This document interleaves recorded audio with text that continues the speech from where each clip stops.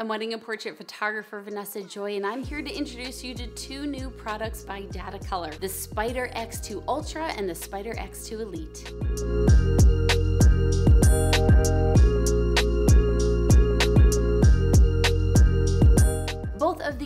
Are color calibration monitors. If you're not familiar with monitor calibration, what this tool does, it calculates the color coming from your monitor as well as the ambient light in the place where your monitor is to make sure that your monitor is giving you perfect luminance and color so that while you're editing photos, you're not editing them to an errored screen that's maybe a little bit too warm or a little bit too magenta. Instead, it is absolutely picture perfect to the true colors that they need to be. This makes it a lot easier for you to edit photos. It makes it easier for you to print photos accurately so that they're exactly what you want them to be as the creative photographer that you are. The brand new Datacolor Spyder X2 makes it super, super simple.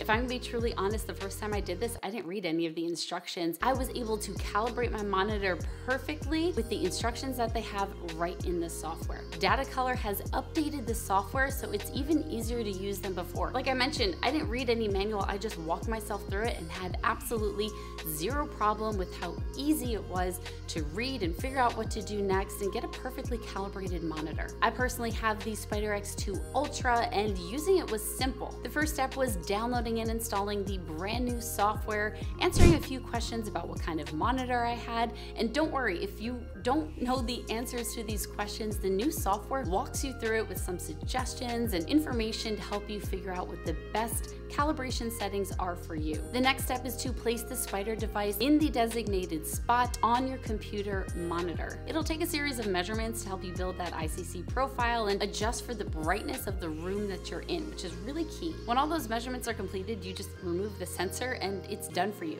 And it's really fun looking at the before and after because you don't see exactly how off your calibrated monitor is or non-calibrated monitor is until you do that before and after. So I probably sat sat there for entirely too long going back and forth. I'm using an Apple Cinema display and in my head, and this is probably not the best line of thinking. In my head, my Apple display perfectly color calibrated. Uh, wrong. No, they're not.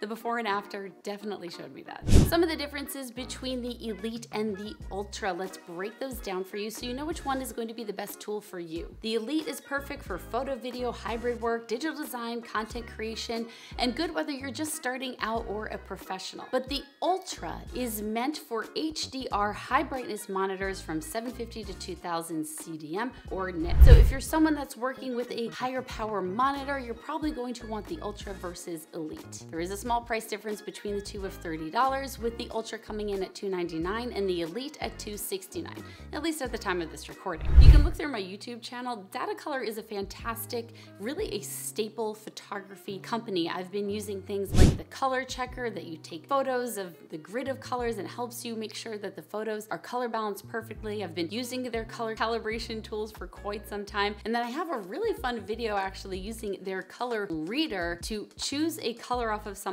and then play with the background. Anyway, I'll show you all the links to all the videos, but Datacolor is a solid company. They've been around forever and they help us photographers and videographers get beautiful, consistent color throughout different cameras, throughout different displays. It's definitely a staple in any professional photographer's closet. Make sure you check out the link to look at both the Spyder X2 Ultra and Elite, see which one is better for you, and let me know what you think about calibration in the comments. Is this something that you do? Hit like, subscribe, ring the bell, and I'll see you next time.